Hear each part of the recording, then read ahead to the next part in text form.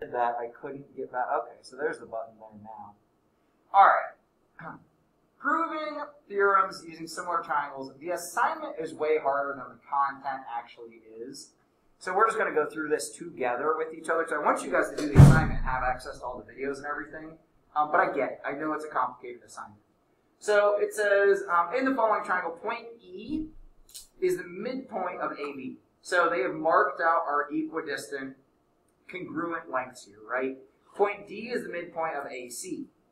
So it says below is the proof that therefore DE is one half of CB, right? They are proving that this length DE is half of the length CB. Um, now, anyone watching the video, I don't necessarily know why green kids would watch this video, but if I go to the board and write on the board, you're not going to be able to see what I'm doing. Oh, yeah, kind of. Because I have this camera there, somebody might just need to remind me. Um, they'll be able to see it a tiny bit. So they then ask us to fill in these steps. One of the most important things here is realizing they show you the steps to how they get to what they get to.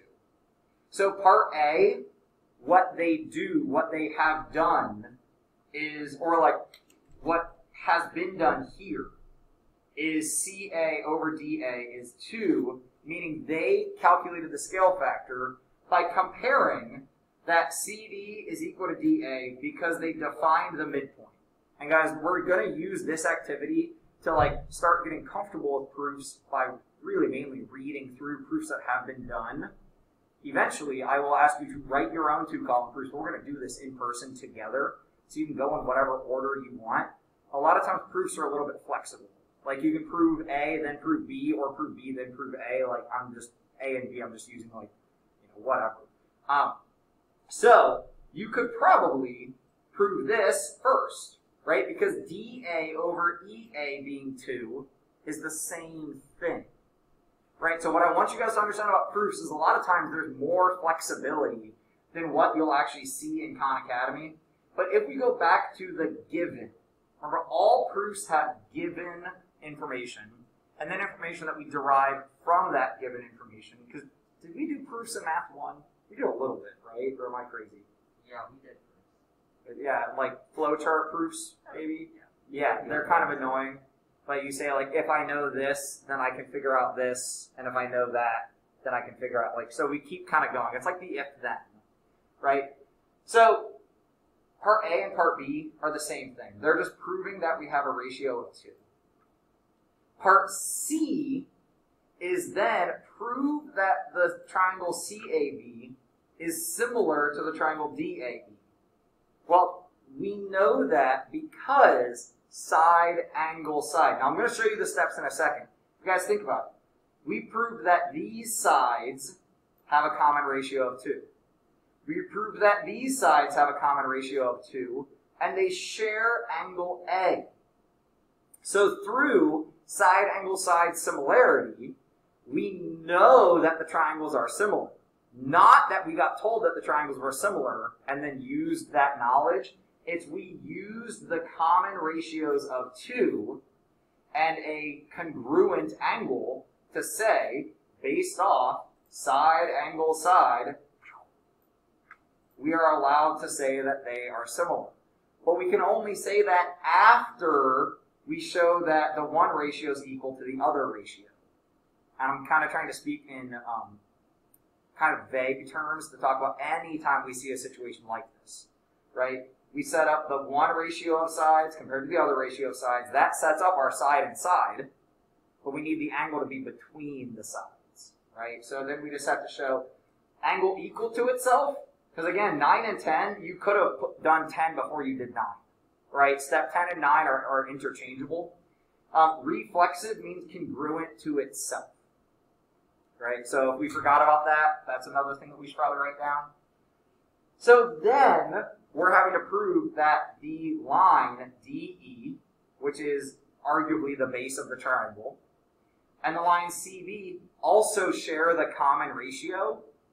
Well, guys, we just proved that the triangles are congruent, which are not congruent, similar, which therefore means there will be a common ratio between the similar triangles, right? Like now that we proved the triangles are similar, we can apply any similar triangle rules. So to prove this, we have to pick CB over DE. We'll go back up and compare. Okay, CB over DE. Okay, big to small, right? Big triangle to small triangle. What then? Okay, so, all right, I'm going to minimize these to get rid of them. So we want big over small. Which one of these is big over small? Well, CD is not the entire triangle. Right, that's only part of the triangle, so I don't know if I really want that. CA. Okay, CA is the big triangle. The corresponding piece of the little triangle would be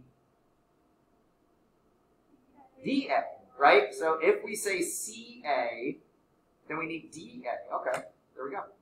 CACD, that would not be correct because that'd be big triangle over this piece.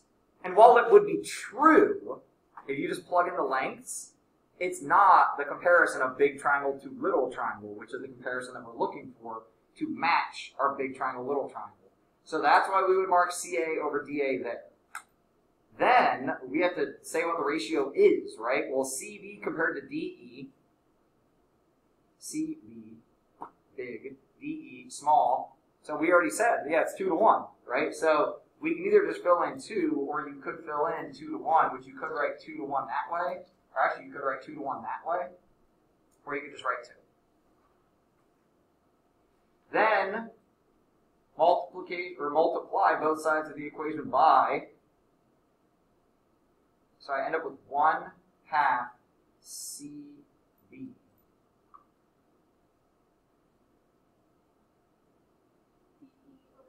DE over 2. Because the only way to get to 1 half CB is to get rid of this DE. So we need a DE on top. And we want division by 2, so we end up with a 2 in the denominator. There we go. Try the next one on your own for a moment before we um, talk about it together.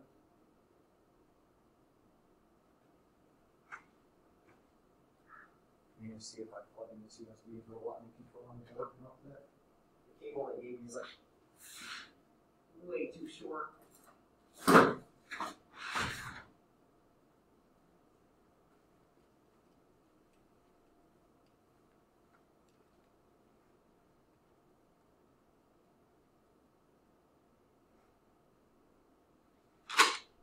I know sometimes I say one thing and I do another. I know I said, hey, let's not actually have class, but I think it just makes sense, especially right now because this stuff's so complicated, that we do have our own class. So obviously now we are having more class than what I kind of said at the very beginning.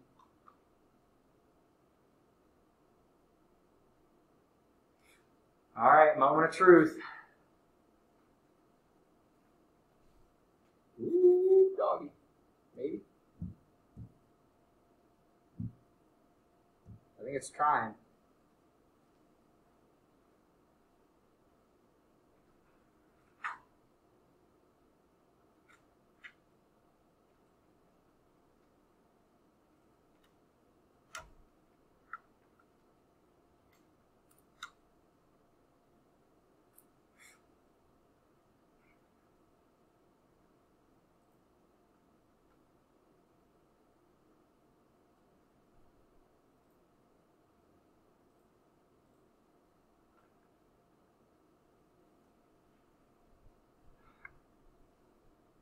This is a related proof.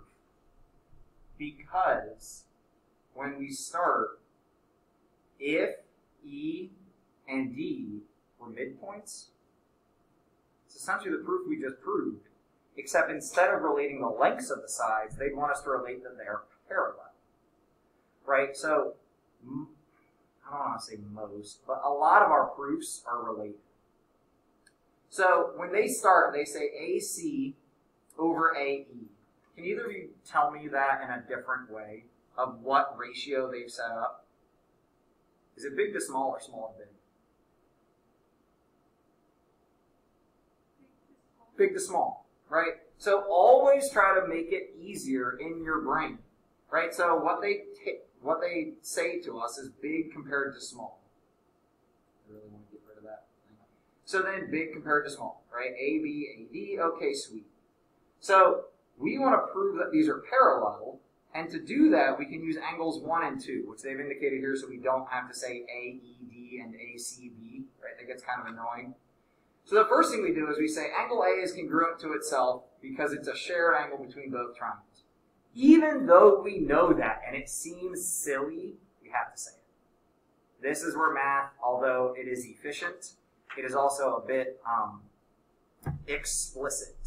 So that doesn't mean a word, right? Explicit means like all of the details. So like explain this to me explicitly or what like so math is explicit, we say things that are silly. So angle A is congruent to itself, we say reflexive. But then triangle AED, right? They're not saying angle, they're saying triangle, is similar, guys, this is just picking the order. Right? So if it's AED, should it be ACB or ABC? ACB. ACB, right? So pick vertex order, ACB. Pick criterion, why? Right, why are we allowed to say that? Do we have the side? Ooh, well, they did it. Yep. So our beginning steps prove these ratios. And if we want to see how, remember we're just learning how to do proofs right now. Um, they're not making us do the whole thing. We use substitution here, and we get to this common ratio. So since we have that, it looks like we're allowed to use side angle side because they did the sides and then we did the angle.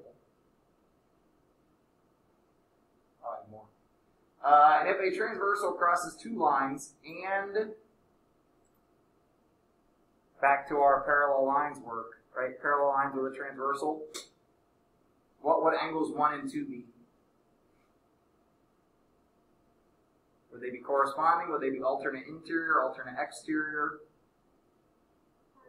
Corresponding. They're in the same location, right? Both of them on the top and to the right.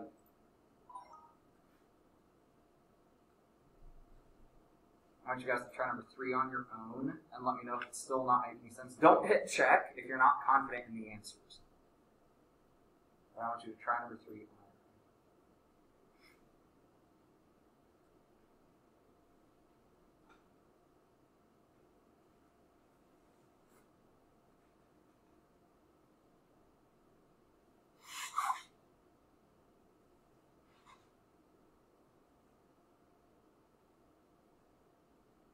Back to being super cloudy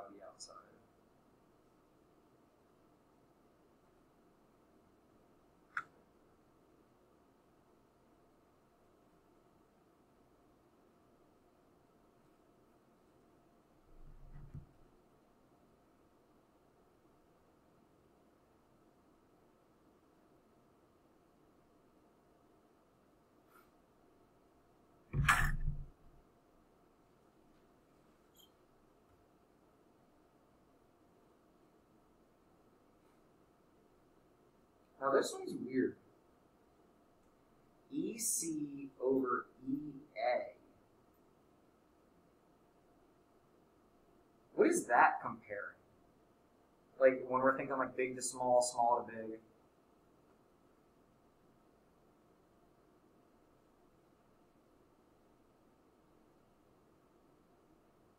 Because we are trying to prove, but like this is saying, prove this. What is EC?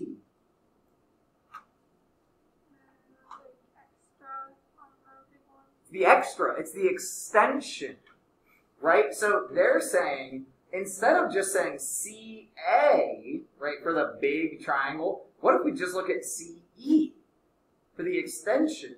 So I know they say E first, but I wish they had used C first. Because if we look at CE, that's just this extension. And if we look at AE, that's just the original small triangle. So extension compared to small, is this extension compared to small? Yes. So in proving AC over AE, what is that? Well, AC to AE, oh, well now that's big to small. Right, so now we start by proving big to small. We got a given. Our transversal crosses, so 1 and 3, what are these to each other? Corresponding because they're in the same location. AED, we got to pick the triangle order. AED, so A, CB. This is easier than you guys thought, right?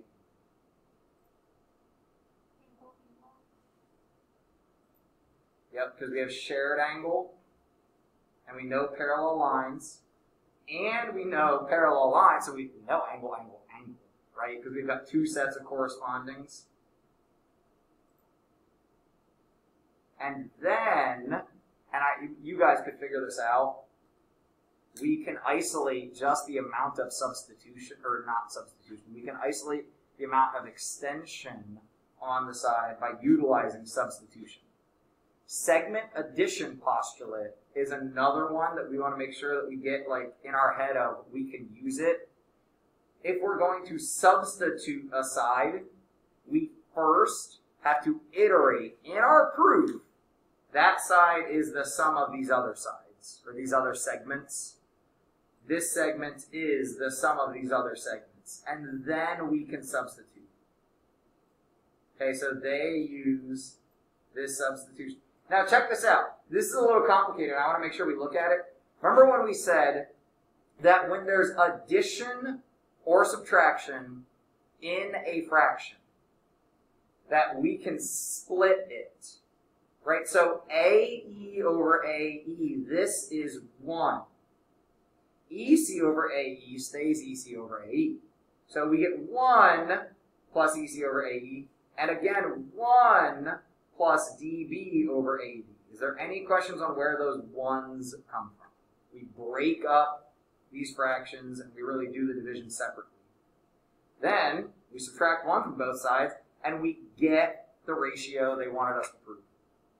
That the extension amount compared to the original will be equal to the extension compared to the original. Any questions there?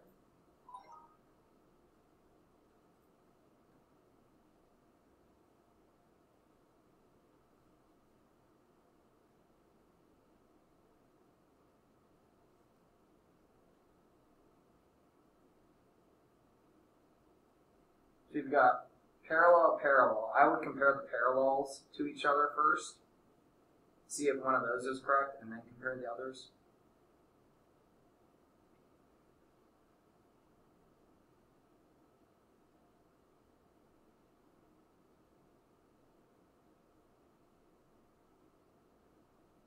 Is A true? If these lines are parallel, then PS will equal SQ. Now, what would need to happen for that to be true? Close. What would S and T have to be? Midpoints. Or at least S would have to be a midpoint. Uh, so I would look at the other parallel one and say, is that true? So PS congruent to PT. PS to PT.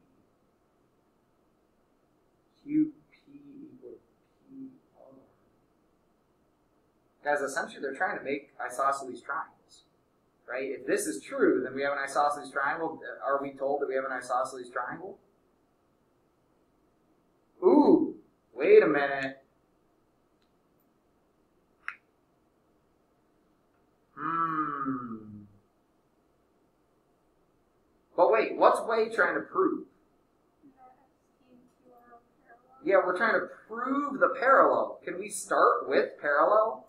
No, if we're trying to prove parallel, we can't start with parallel. But we do have midpoints. So be careful. A temptation that I see a lot of you guys doing is you scroll as soon as you, well, more so my seventh graders than you guys. Um, but you scroll as soon as you get to a question to read what the question is, make sure you read the top part, especially things like this, 22 midpoints.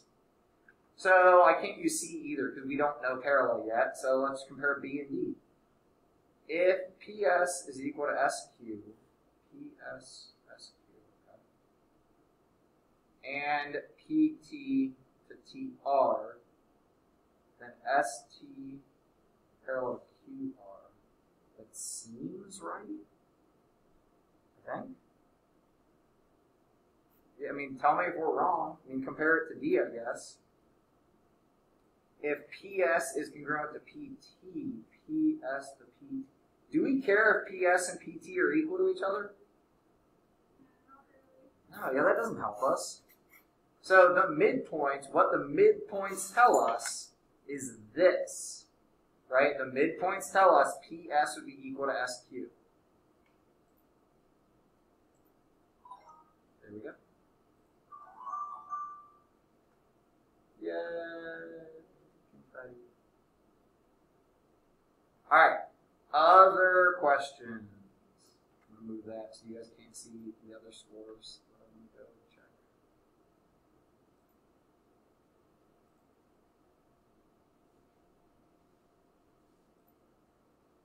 Trying to look for anything else that we've been struggling on.